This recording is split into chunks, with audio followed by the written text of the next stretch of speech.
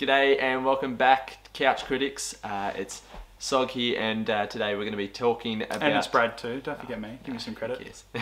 uh, everyone loves Brad more than me. Yeah, it's pretty clear. Uh, we're talking about someone that uh, divides opinions today. Melbourne Victory have announced that Tony Popovic will be the new manager of Melbourne Victory starting next season.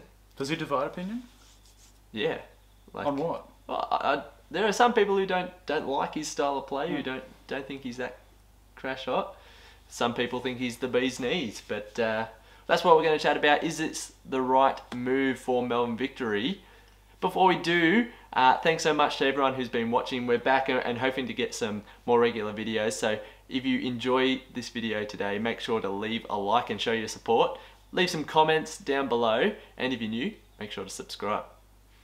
Alrighty. Bradley. Well, do you think it's the right move for Melbourne Victory? Tony Popovic next season.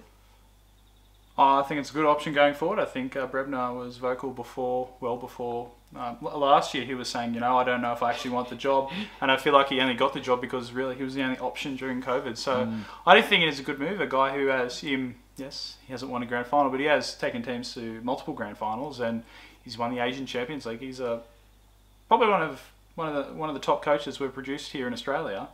Um, probably not the top. It's probably Ange, but anyway, Yeah. um, I think he's a quality coach. Anything's better than uh, what Melbourne Victory's got going at the moment, to be honest. Yeah. Uh, what do you make of the announcement that he'll be taking over as of next season? So the Victory have to finish off No, I'd get him in straight away. their last ten away. games. It's just a it's a bit of a waste, isn't it? Yeah, why, why do you think he's not coming back in two weeks' time? Do his I don't know. He might still be over in Greece, and you know, I don't, I don't know. And I think I don't know if they're actually playing the 27, 26 games now. Oh, Because, because well, we're already into May, and the comp's going to be done by the end of next month. ah they just pump them out day after day. They haven't released the next couple of. I don't know. I don't know if they're going to play all the twenty. But anyway, um, I don't know.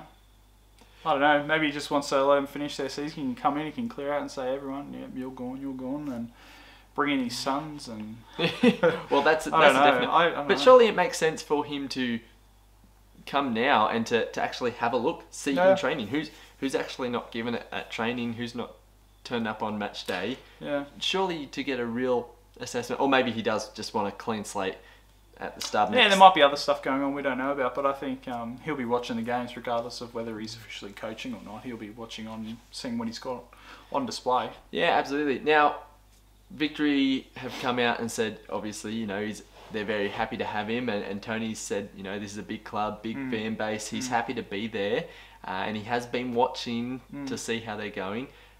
What do you think this does to, to Melbourne Victory for the rest of the season? Is this going to be a boost to them? Do you think some players are going to pick up, or do you think they're just kind of they're lost? The the next ten games are a write off, and they'll just this is a sign of intent that next season is what they're thinking about, and they're just done Yeah, with this I, I think some players will be fine for their contract, for their spot in the team. Um, I don't know if it'll make them play any better. I mean, oh well, I guess you can't play any worse.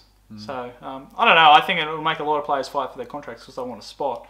Because they know um, Tony can be a bit ruthless. He likes uh, the revolving door of recycling players. Well, how many Well, players did he go players. through with uh, the Wanderers? I think he had about forty-seven No. Players in the- two seasons. you know, and still got into a couple of grand finals. So Yeah, you know, he, he can um, get good results from clubs uh, with what he's got.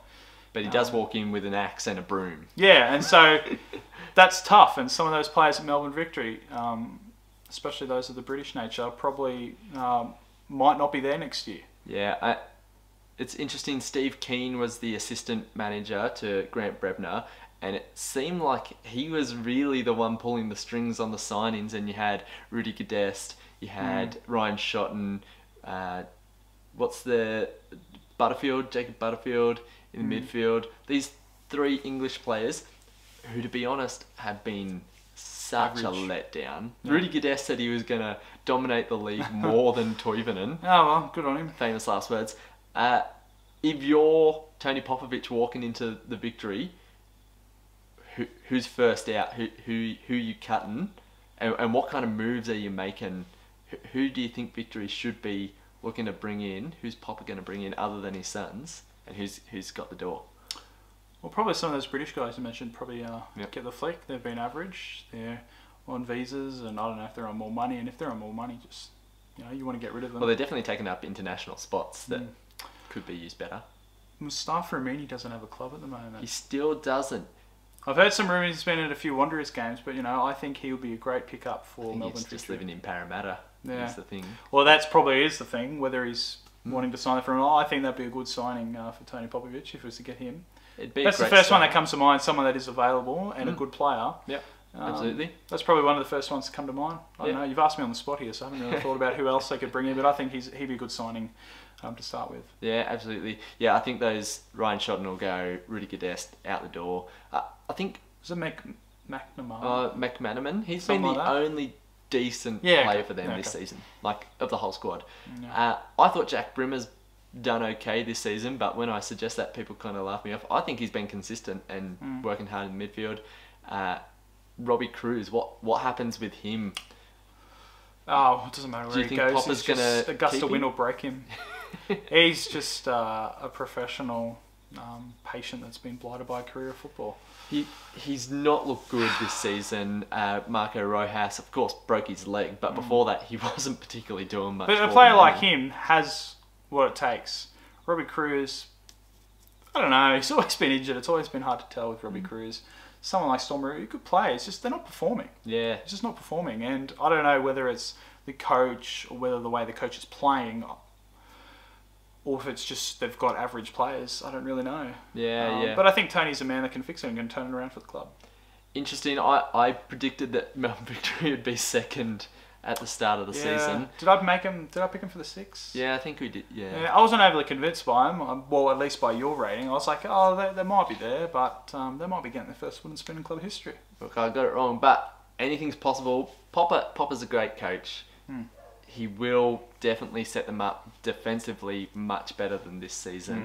Hmm. That's Uh, what they really need right now. I think over 40 goals in Yeah. 17, 18 games. What do you got there in front of you? It's not been pretty. It's not been pretty to say the least. Uh, it's going to be interesting. Let us know what you think down in the comments. Is Popper a good signing for Melbourne Victory?